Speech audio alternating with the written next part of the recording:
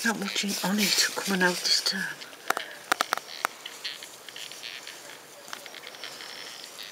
That's a good girl. What a clever girl she is. There's not much on it.